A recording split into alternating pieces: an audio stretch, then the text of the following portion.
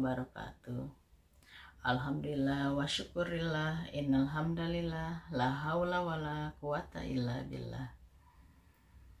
Bagaimana puasanya anak-anakku? Semoga tetap semangat ya sampai hari terakhir. Pertemuan kali ini kita sama-sama share saja ya tentang materi indahnya berbagi Rasulullah Shallallahu Alaihi Wasallam pernah bercerita, ada seorang laki-laki yang sedang berjalan di padang Sahara, sebuah tempat di muka bumi. Tiba-tiba ia mendengar suara dari atas awan. Turunkanlah hujan di kebun milik si Fulan. Kemudian awan itu pun bergerak dan mencurahkan air hujan di atas tanah hara atau tanah yang berbatu hitam. Seketika salah satu dari parit-parit tanah harah itu dipenuhi air. Lalu laki-laki itu menelusuri jalannya air. Tiba-tiba ia melihat seorang laki-laki sedang mengatur aliran air dengan cangkulnya. Laki-laki itu berkata kepadanya, Wahai hamba Allah, siapakah namamu? Sepemilik kebun menjawab, saya Fulan. Percis seperti nama yang disebutkan di atas awan. Kemudian si pemilik kebun balas bertanya, Mengapa engkau menanyakan namaku? Laki-laki itu pun bercerita, apa yang telah didengarnya? Apa yang telah engkau perbuat dengan kebunmu ini? Tanyanya kemudian.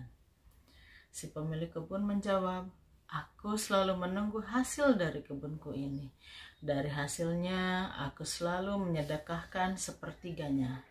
Sedangkan aku dan keluargaku memakan se sepertiganya, dan dia sepertiganya.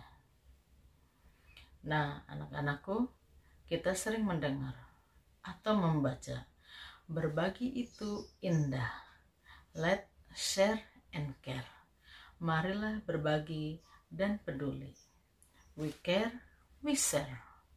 Jauh sebelum istilah itu muncul, Islam pun mengajarkan kita untuk selalu berbagi, memberi, menolong, serta membantu orang lain. Islam mengajarkan kita untuk selalu berbagi. Berbagi merupakan kebaikan, merupakan sikap yang terpuji. Maka dalam hidup hendaknya kita saling berbagi dan peduli terhadap orang lain. Berbagi tidak dapat dilepaskan dari peduli. Ya, berbagi merupakan kebaikan dan orang yang berbuat kebaikan akan dicintai oleh Allah Subhanahu wa taala. Seperti dalam surat Ali Imran ayat 134 yang artinya yaitu orang-orang yang berinfak baik di waktu lapang maupun sempit dan orang-orang yang menahan amarahnya dan memaafkan kesalahan orang lain dan Allah mencintai orang yang berbuat kebaikan. Berbagai indikasi pengorbanan dan kerelaan untuk memberi. Semakin banyak memberi, semakin tidak akan merasa kekurangan. Seketika yang dikorbankan adalah harga diri seseorang untuk meningkatkan harga diri orang lain. Di sinilah keindahan, keindahan berbagi daripada sekedar menerima. Ketika setelah menerima kesuksesan, kadang seseorang lupa daratan. Ketika bisnis di puncak kejayaan, manusia pun lupa akan kewajiban dari harta yang mesti dikeluarkan dan lupa untuk saling berbagi.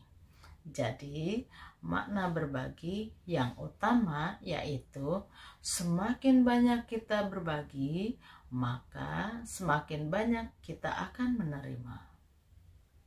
Berbagi itu indah, berbagi itu berfaedah, dan berbagi itu berkah. Ada lima hikmah yang yang mampu mengilhami kita untuk berbagi. Yang pertama, berbagi itu mulia. Artinya, ketika kita berbagi, kita akan mulia di hadapan Allah. karena menolong sesama.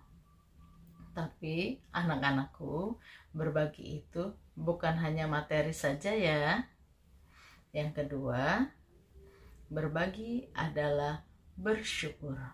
Artinya, ketika kita mempunyai potensi diri, kemudian kita bisa bermanfaat untuk orang lain, itulah menunjukkan kita mampu bersyukur atas nikmat yang Allah berikan kepada kita. Contohnya, seandainya kita punya banyak harta dengan berbagi kepada fakir dan miskin, itulah bukti tanda mampu bersyukur. Yang ketiga, berbagi itu amanah. Artinya, setiap harta yang kita miliki adalah titipan Allah yang harus kita berikan kepada sesama manusia. Ingatlah anak-anakku, harta dan potensi diri akan dimintai pertanggungjawabannya di hadapan Allah. Yang keempat, berbagi itu prestasi. Artinya, seberapa kita mampu untuk berkorban, untuk berbagi, itu menunjukkan prestasi kita di hadapan Allah. Dan yang kelima atau yang terakhir, berbagi itu adalah investasi. Artinya, ketika memberi, maka itu adalah amal jariah yang menjadi investasi kita dan akan kita terima nanti di akhirat. Mungkin itu saja sedikit dari Ibu. Semoga bermanfaat. Semoga kita juga termasuk pribadi-pribadi yang senantiasa mempunyai rasa senang untuk berbagi. Ingat, hidup ini satu kali, maka jadikanlah hidup yang sekali ini mempunyai arti tertinggi di hadapan ilahi Robi. Wabillahi taufik wal hidayah. Wassalamualaikum warahmatullahi wabarakatuh.